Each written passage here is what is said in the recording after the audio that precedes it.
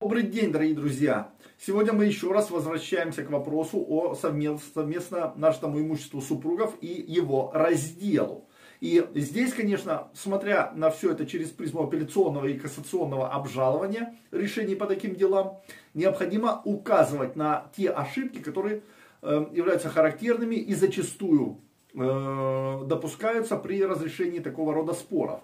Итак, дорогие друзья, перед тем, как мы перейдем к этому разговору, хочу напомнить, что если у вас есть э, какие-то вопросы, необходима консультация, составление исковых заявлений, апелляционных, кассационных жалоб, пожалуйста, обращайтесь, всегда с удовольствием поможем.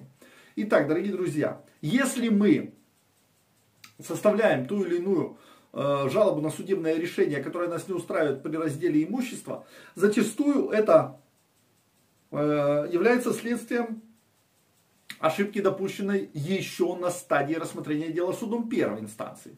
Но не всегда это так. Зачастую сторона делает все возможное, а вот суд э, неправильно применяет закон. И здесь необходимо э, понимать, что я вот не первый раз и много-много раз сталкивался с тем, что суд присуждает то имущество, которое оформлено на того из супругов, который э, на кого оформлено, тому и присуждает.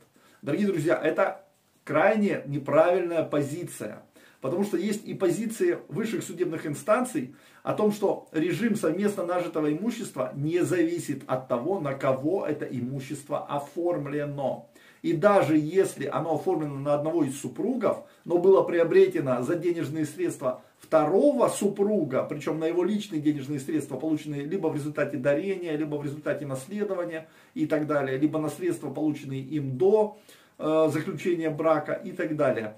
Вот если на эти денежные средства было приобретено, построено э, это имущество и так далее, то, конечно же, независимо от того, на кого оно приобретено, его необходимо исключать из э, массива совместно нажитого и признавать собственностью того из супругов, который вложил туда личные денежные средства.